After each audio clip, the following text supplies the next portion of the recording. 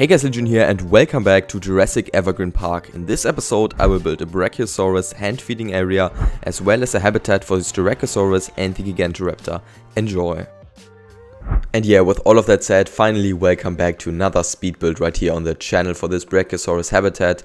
So in this habitat, the whole idea is sort of that we're trying to evoke this feeling of like a habitat where the guests can walk down this walkway and then feed the Brachiosauruses uh, by hand or maybe just stand next to the feeders and watch them uh, feed on those uh, plants in there very closely, which is sort of something you would maybe see in a zoo in the giraffe habitat. And of course that doesn't work in the game, we're just sort of trying to evoke that feeling right here. But also here's your quick little reminder to subscribe to the channel. I don't want to annoy you with this, but simply if I don't say it, uh, I'm gonna get a lot less subscribers from this video. So yeah, um, if you do subscribe, uh, thank you, it does help out a lot. So yeah, and the sort of special-ish thing about this habitat also is that it has been planned for quite a while now. And the reason for that is because it's part of a way bigger uh, the actual biggest, uh, by far the biggest habitat in the entire park, and that is around the entrance, the Brachiosaurus habitat. Because if you didn't know already, if you haven't watched the previous episodes of, uh, like all of the previous episodes of this uh, whole park build, then uh, you would know that in the middle of the park there is actually the, the entrance of the park, which has this sort of water feature designed around it, and then around this staggering like water terrace, we have a big Brachiosaurus habitat sort of going around the entrance, and then going around that habitat is the park and then the park um, basically goes from the entrance around the Brachiosaurus habitat and then back to the entrance again so the entrance also doubles as the exit for the park visitors. And this habitat, the Brachiosaurus habitat, has now been featured in multiple episodes right here uh, of this whole park build. One of them was a top-down sort of viewing area um, where the guests could also be sort of on uh, the same height as the Brachiosaurus is when they're eating, sort of their, their heads when eating the plants. And there was a watchtower, then there was like an area um, at the same height as the Brachiosaurus, um, which is sort of regular to uh, similar to what you would do in uh, a more regular habitat most of the time for Brachiosaurus. And then uh, also from the Suchomimus habitat, the Suchomimus actually has like a sort of um, height elevated view uh, down into the Brachiosaurus habitat. And now there's the final connection of the Brachiosaurus habitat to this area right here. And I had uh, planned for quite a long time now to sort of have like a cutout like this where uh, the Brachiosaurus habitat actually ends. So I also finished all of the empty areas still and non-decorated areas in this habitat in this episode uh, sort of behind the scenes because that's not really that interesting. It's just more of the same placing down rocks some bushes and some trees like I mostly do. And this habitat was actually supposed to come uh, after the Acrocanthosaurus, uh, I'm just gonna say Acrocanthosaurus episode, there were like more habitats in that episode as well, but uh, that's like the biggest habitat of that video. So yeah, after that uh, I was it was planned for me to build this habitat, but then the DLC came out, so I decided to add the Megalodon first, and then also add the Stegosaurus and Microceratus, and then of course I had a bigger break on my channel, so that is why finally this habitat is now happening, and uh, that's not actually the only habitat we're going to be doing in this episode. As well, um, we're going to be doing a habitat next to one of the path art designs I did from reference in the same Acrocanthosaurus episode, because there was still an empty area right next to it and also between the lagoon. So there's a high, an elevated view from the path next to the lagoon and also a lower down path from that path art design. And I think that habitat also turned out quite nicely. You're gonna see that towards the end of the cinematics, me building that. I had planned to put uh, at least some ceratopsian in there, either the Styracosaurus or Torosaurus, and I decided to go for the Styracosaurus, which uh, is actually the one of the two that I prefer, but I just decided to put in there because it's smaller and the habitat it, uh, itself isn't that large. And then I realized, like I was thinking uh, what other species to put in there, and I decided to settle on the Gigantoraptor because uh, I was just like looking for different species and I thought the Gigantoraptor fits perfectly into that habitat. Um, it's not really, I don't know how to describe it, but it just it just fits the habitat and you maybe will even see that in the cinematics how it just fits into the habitat and it makes sense in there. So I decided to build for the Gigantoraptor.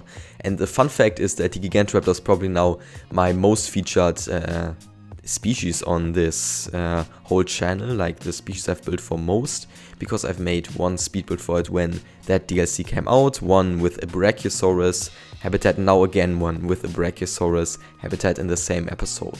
Also right now there was just a little cut in between building sessions, that was because I placed down a ton of rocks uh, while it's not recording because that's pretty boring and I didn't want to just speed up the entire process or cut most of it out so I just did off screen. It's just placing the big rocks and placing the medium rocks, the even more medium rocks and then the small rocks and doing that all along this sort of cliff face and then also in those sort of gaps between the different walkways for the guests.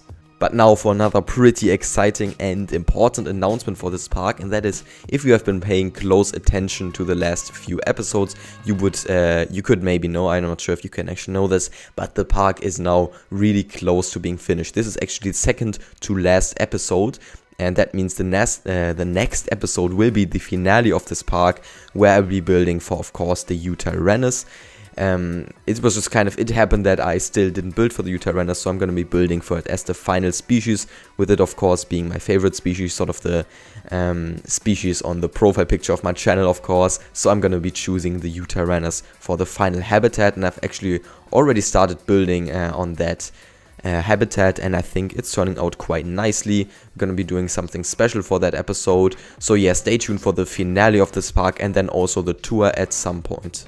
Now what I will be doing with the save file of this park is gonna be a little bit different. Instead of posting it on Nexus like I've done for my tropical park or like I've done with Unity Park, which wasn't really just my park, it was uh, a park with like multiple people as you know, but I still we still posted it on Nexus but this park I won't be posting on Nexus. That's the reason for that is that his park has taken a lot, a lot of time and I want to give something back to my channel members.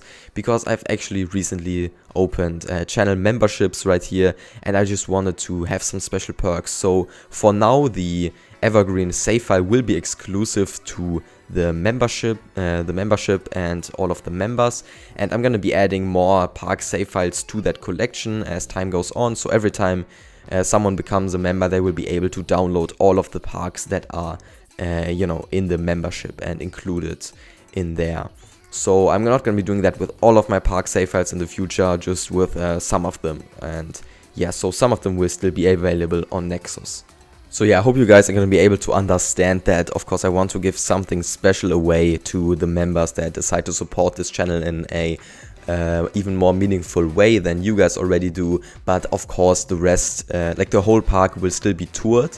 There's just one little issue at this point with the park, and that is that in one of like from the second or like yeah from like the third or and to the fourth habitat those habitats are actually currently missing the reason for that is something that happened to me way back in like the second episode or something that was that i had uh, I accidentally overwrote my park save file and I had a pretty old backup so I lost two of the habitats. I've now rebuilt like the structure of them, the outer fence, I've built, uh, rebuilt the path but I haven't put in all of the decorations and all of the decorations for the habitat and I think I'm still gonna be having to do that. I don't really want to give you guys an incomplete version of the save file and I don't want to show like an incomplete version of the park as well and just show cinematics from those old episodes.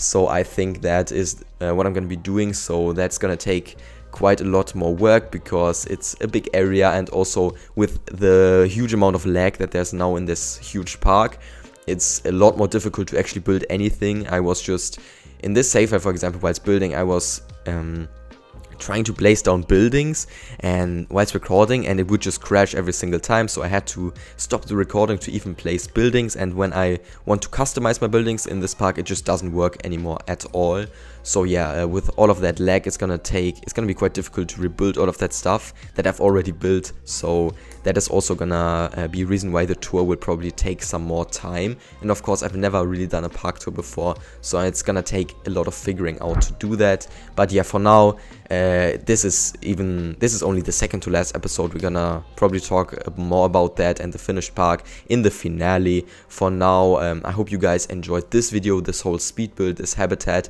I think the whole feeding area and the Brachiosaurus habitat looks quite nice. It's like a special thing and also like how sort of this round path is lower than the path next to it, so you sort of go down into this area surrounding the Brachiosaurus habitats, then on this walkway to, uh, you know, hand feed them, which would be like the idea.